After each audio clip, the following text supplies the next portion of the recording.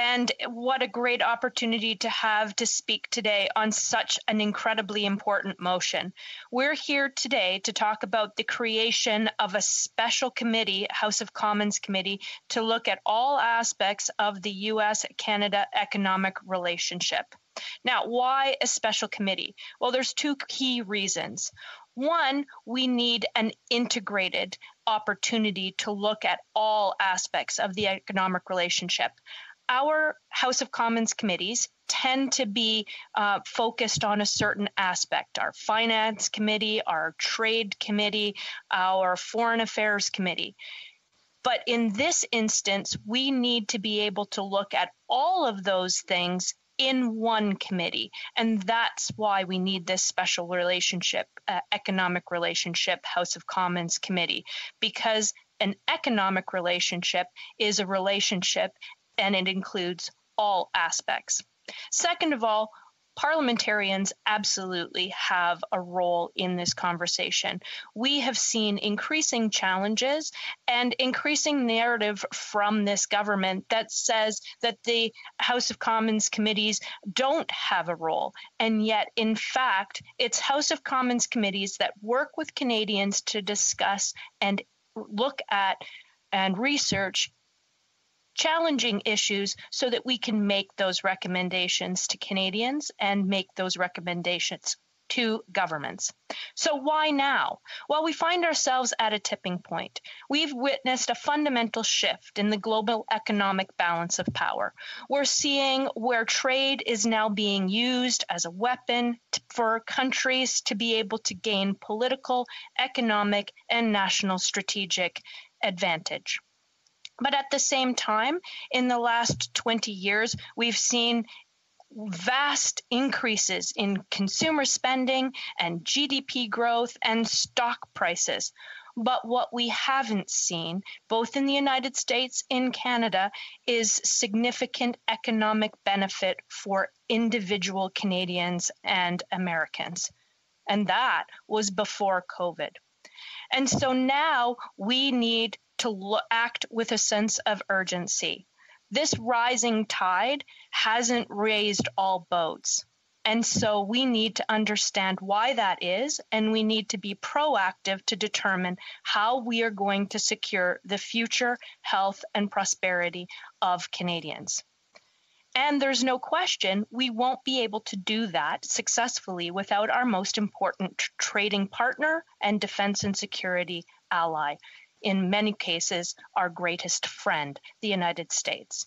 We, of course, have $1.5 billion a day in trade. We have all kinds of people and goods going back and forth. We have integrated supply chains. But we need this committee to understand where both of our countries are economically, basically to understand the fundamental foundation from which we will be looking at what our economic relationship needs to be. The world is not the same as it was in the 1980s when we first put NAFTA in place. Both our economies have made substantial changes. From 1999 to 2015, the US has lost over 5 million manufacturing jobs. Canada has lost over 600,000, over 25% of our country's industrial workforce. Barely two workers in 10 in Canada are employed in making goods. And in the last 18 years, there's not been a single net increase in jobs in the goods sectors. And in both of our economies, the middle class is drastically sh- shrinking. In the United States, in, in 1980, 60% of national income was from the middle class. Unfortunately, today, that number is only 40%. And every four years, one in five people in the middle class fall down into the ranks of the working poor, and it is increasingly difficult to move up. Wages are stagnating. The gig economy is making work more precarious prices continue to rise, and student debt is a greater burden than any generation previously. From 1990 to 2015, 80% of Canadians saw few, if any, income gains. And this is all before COVID. So we have seen a trend in the US that started long before President Trump and may well continue under the new administration. We need to understand what that is and start to actively plan and address it and to mitigate it and work mutually for a win win situation between Canadians and the Americans. The narrative we have heard is that the global trading system is universally unfair to U.S. workers. There is a call in the United States to turn back the clock to a time when goods sold in the U.S. were made in the U.S. There's also a further push for globalization, which appears is neither inevitable nor desirable. And if actions speak louder than words, then we have a number of examples that highlight this trend. The renegotiated NAFTA, the Canadian US Mexico agreement, is not a free trade agreement, but a managed trade agreement with conditions that further uh, restrict Canada's participation in the North American market it gives American farmers increased access to Canada while also eliminating regulations slanting the playing field in favor of the US. And it also caps the growth of the Canadian auto sector and raises the cost of Canada's production, jeopardizing our competitiveness.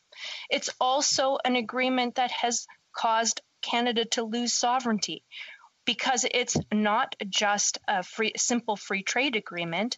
It's an agreement that has clauses that put conditions around Canada's ability to enter into other trade agreements, as well as limiting our independence on monetary policy. Furthermore, in the US, we've seen massive tax reform where US corporate taxes have been slashed and measures have been put in place to incentivize American companies to repatriate their manufacturing operations to the US. We've witnessed punishing steel and aluminum tariffs under the guise of national security. Uh, and we've seen that new protocols have been put in place to make it easier to put further tariffs on in the future. We're also witnessing non tariff trade barriers from the United States, where the United States International Trade Commission is in the process of reviewing the safety and security of blueberries, strawberries, and red peppers that Canada is exporting to the US. These investigations, after 21 days, make it so that the US can impose tariffs on them. That's a 750 million export market affecting over 8,300 Canadian farmers and families, and thousands of jobs as well. There's no question that economic relationships at their core are relationships.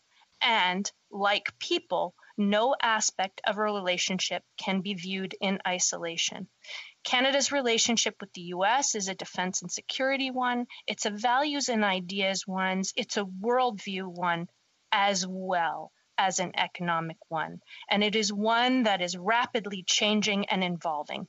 And Canada cannot afford to be complacent or take it for granted or assume that the conditions that have been in place for the last 20 years will remain the same going forward. We must pivot. We must have the courage to look at ourselves and understand exactly what we need to do to position us and the United States for the future in a win win situation.